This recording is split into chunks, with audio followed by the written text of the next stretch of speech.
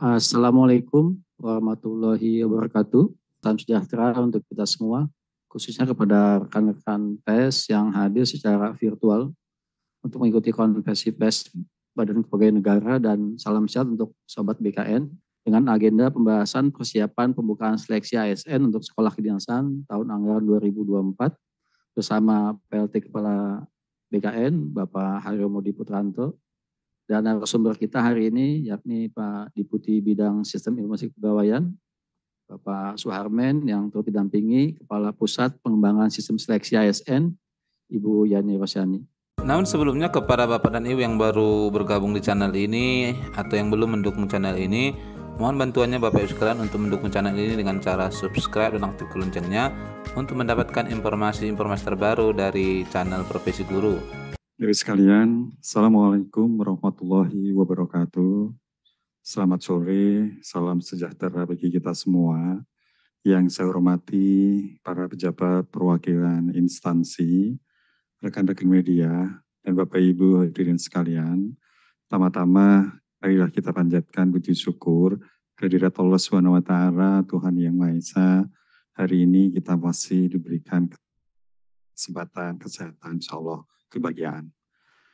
Pada kesempatan ini, BKN akan menyampaikan beberapa hal yang berkaitan dengan rencana pelaksanaan seleksi aparatur sipil negara untuk formasi sekolah kedinasan tahun 2024.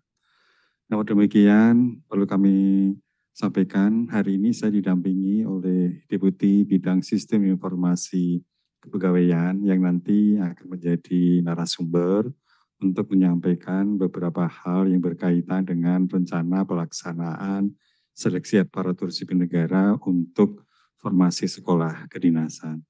Saudara-saudara yang saya hormati, seleksi sekolah kedinasan tahun 2024 dibuka untuk delapan kementerian atau lembaga penyelenggara sekolah kedinasan yang terbagi menjadi 30 sekolah kedinasan. Insya Allah pengumuman pendaftaran seleksi sekolah kedinasan ini akan dilakukan mulai tanggal 14 Mei 2024 dan peserta dapat mulai melakukan pendaftaran tanggal 15 Mei 2024 melalui portal SSC ASN yang dimiliki oleh BKN. Saudara-saudara, untuk eh, seleksi kompetensi dasar nanti akan diselenggarakan di beberapa titik lokasi BKN dan titik lokasi mandiri instansi yang rencananya akan dimulai tanggal 18 Juli sampai dengan 6 Agustus 2024 dan dilaksanakan sebanyak empat sesi per hari. Dan untuk pelaksanaan seleksi di hari Jumat dilaksanakan hanya sebanyak dua sesi. Dalam hal ini tentu BKN telah melakukan beberapa persiapan-persiapan yang diperlukan, termasuk sarana prasarana yang akan digunakan untuk pelaksanaan seleksi tersebut.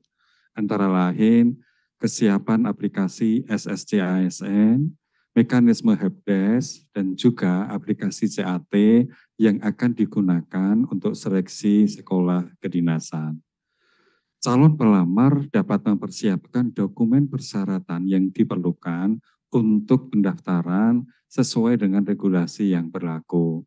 Seperti antara lain pas foto, KTP, kartu keluarga, ijazah, dan dokumen-dokumen lain sesuai ketentuan yang selama ini harus dipenuhi oleh para pelamar.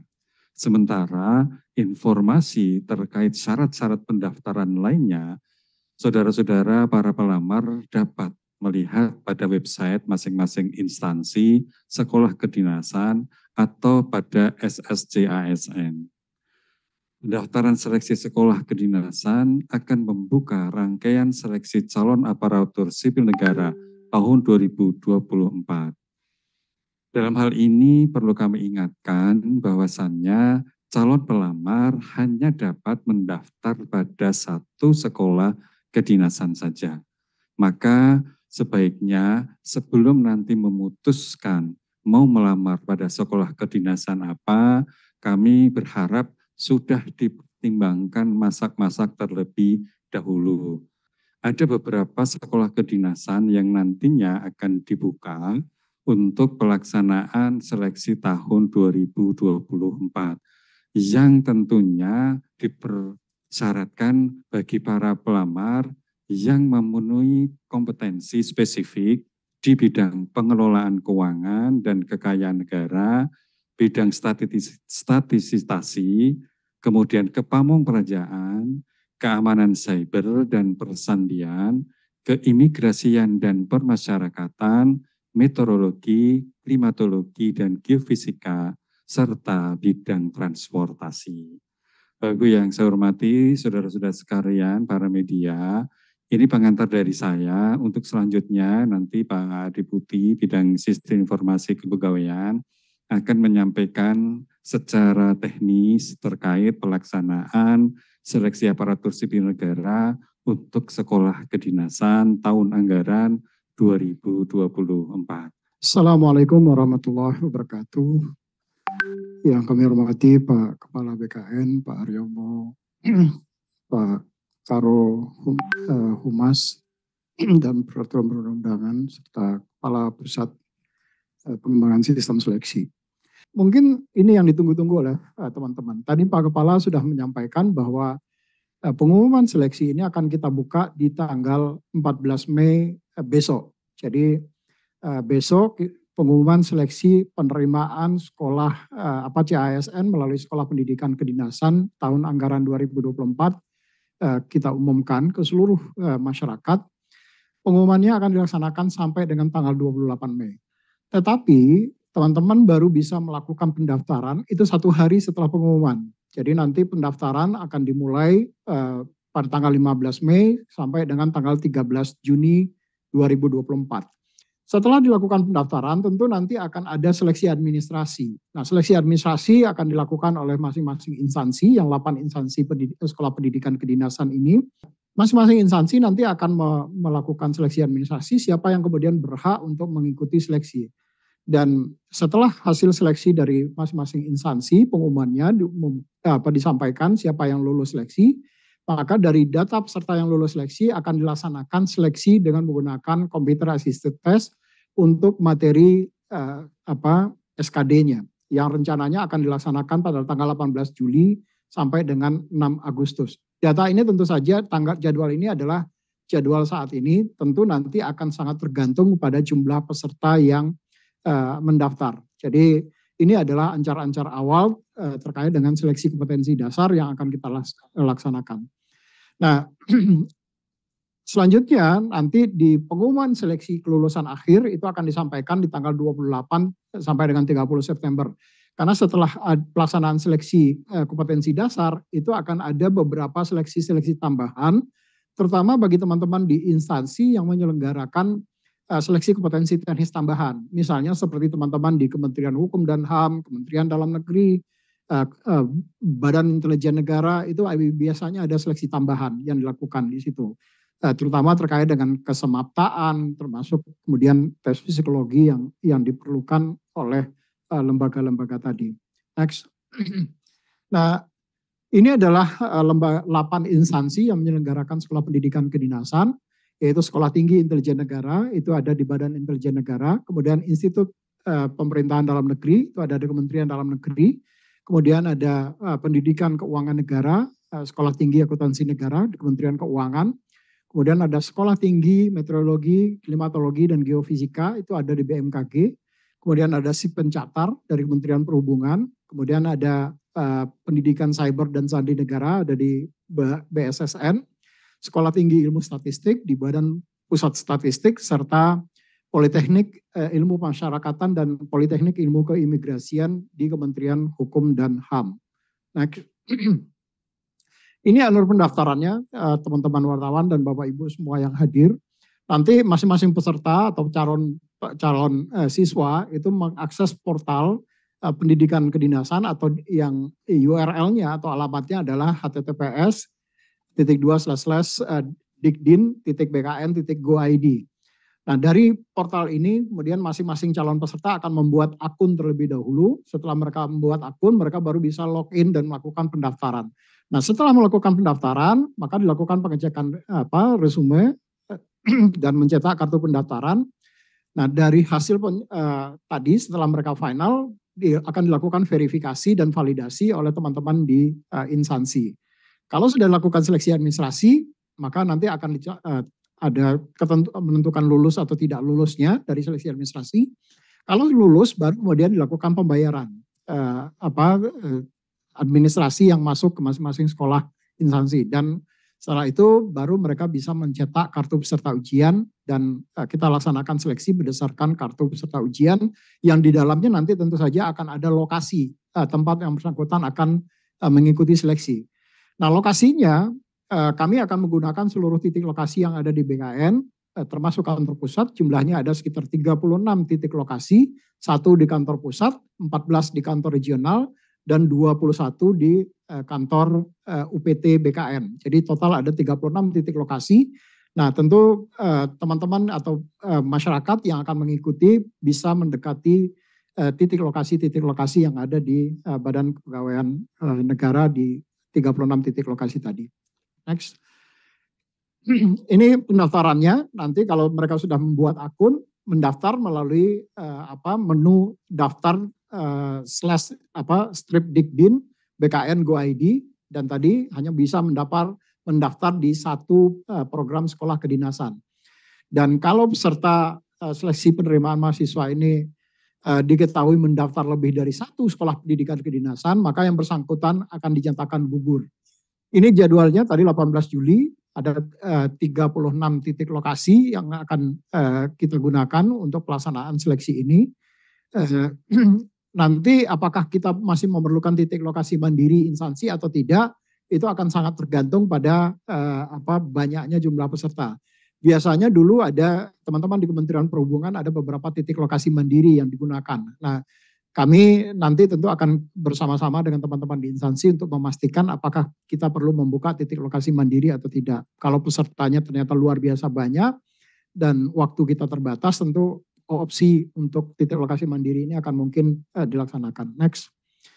Ini jumlah soal Bapak Ibu, Bapak semua, uh, sebagaimana juga penerimaan uh, di uh, calon aparatur sipil negara di sekolah pendidikan kedinasan soalnya juga ada 110 soal yang terdiri dari tes karakteristik pribadi itu ada 45 soal, tes intelijensi umum 35 soal, dan tes wawasan kebangsaan sebanyak 30 soal. Kalau untuk TKP itu nilai ambang batasnya atau pangsi grade-nya itu minimal 156 dan nilai kumulatif tertingginya adalah 225. Nah di TKP ini itu tidak ada nilai yang uh, apa ya kalau mereka tidak menjawab baru hanya mendapat nol. Tetapi kalau dia menjawab maka dia paling tidak mendapatkan nilai satu. Karena di kalau kita berbicara karakteristik pribadi maka yang dilihat adalah kecenderungan yang bersangkutan. Nah kalau kecenderungan tentu kita tidak bisa melihat hitam putih di situ karena kita akan melihat apakah seseorang itu memiliki pribadi yang lebih melayani masyarakat atau uh, lebih jauh dari uh, konteks untuk melayani masyarakat. Maka yang dilihat kecenderungan. Sementara untuk tes intelijensi umum dan wawasan kebangsaan, maka di sini adalah benar dan salah. Kalau benar dia dapat nilai 5 dan salah dia dapat nilai 0. Kalau dia nggak menjawab tentu juga dapat nilai 0. Waktunya alokasinya adalah 100 eh, menit. Ini juga nanti yang ada kaitannya dengan yang tadi disampaikan oleh Pak Kepala, dengan jumlah waktu yang dialokasikan 100, 100 menit per, apa, per setiap sesinya, maka Eh, kita hanya bisa melaksanakan pelaksanaan seleksi ini next itu di hari Senin sampai dengan hari Kamis itu eh, selama empat sesi, tapi di hari Jumat karena terpotong dengan waktu pelaksanaan sholat Jumat, maka kita akan melaksanakannya hanya dua sesi. Setelah termasuk juga perhitungan eh, proses registrasi dan pemberian PIN peserta, kemudian mekanisme penitipan barang, melakukan body checking, peserta masuk ruang tunggu yang sudah disterilkan dan pemin, apa, uh, pemindahan peserta dari ruang steril ke ruang uh, ujian. Ini sebabnya kenapa kemudian hanya bisa empat sesi maksimal uh, dilaksanakan. Dan itu pun kalau empat sesi itu sudah jam 5 lebih selesainya, jam 5 lewat 10 menit setiap harinya. Itu mungkin Pak Kepala, Pak Karo, beberapa hal yang dapat kami tambahkan terkait dengan pelaksanaan seleksi pendidikan eh, sekolah kedinasan ini. Terima kasih. Ya, izin Bapak-Bapak bertanya terkait untuk seleksi sekolah pendidikan kedinasan ini secara total dari delapan sekolah kedinasan ini kira-kira secara kuota itu jumlahnya berapa lalu rincian per masing-masing sekolah kedinasan ini kira-kira bagaimana ya? Ya, mungkin itu aja mungkin. Terima kasih. Bisa langsung dijelaskan Pak Deputi? Iya, uh, terima kasih Mas Mauladi. Kalau pertama dari sisi ini yang dimaksud adalah jumlah formasi ya Pak Mauladi ya? Iya betul. Iya, uh, jadi uh, sebetulnya dari sisi formasi mudah-mudahan tidak ada perubahan dari Pak Menteri, tetapi untuk sampai saat ini sementara uh, formasi yang sudah dialokasikan atau sudah disampaikan oleh Pak Menteri ke masing-masing apa sekolah kedinasan atau yang sudah diterima per tanggal uh, 7 yang kemarin uh, misalnya untuk di STIN itu ada uh, 400 formasi misalnya. Dan uh, di IPDN juga sudah ada masing-masing instansi sudah menerima uh, apa uh, formasinya. Uh, nanti berapa besaran di masing-masing formasi tentu uh, akan diumumkan oleh masing-masing instansi tetapi Eh, beberapa yang saya uh, kasih contoh misalnya untuk di Sekolah Tinggi Intelijen Negara itu ada 400, kemudian ada di Poltekip dan Poltekim misalnya itu juga ada 400, kemudian ada Kementerian Perhubungan itu ada 622 yang nanti mereka kemudian akan membreakdown ke karena di sekolah Kementerian Perhubungan itu ada macam-macam uh, sekolah di dalamnya nanti akan dibagi-bagi berdasarkan sekolah-sekolah tadi. Nah, berapa komposisi untuk masing-masing sekolah nanti tentu teman-teman di Kementerian Perhubungan yang yang apa lebih uh, apa lebih form untuk menyampaikan atau menjelaskan. Uh, termasuk dengan uh, STIS itu juga sudah ada pembagiannya kalau di dalam data awal itu 355 formasi yang disampaikan oleh Pak Menteri ke uh, ke teman-teman di Badan uh, Pusat Statistik. Termasuk STMKG itu juga sudah disampaikan oleh Pak Menteri. Jadi Eh, secara keseluruhan uh, delapan instansi ini sudah menerima formasi yang disampaikan oleh Bapak Menteri Pan RB uh, keputusannya pada tanggal uh, 7 Mei yang lalu. Demikian kira-kira Pak Muladi.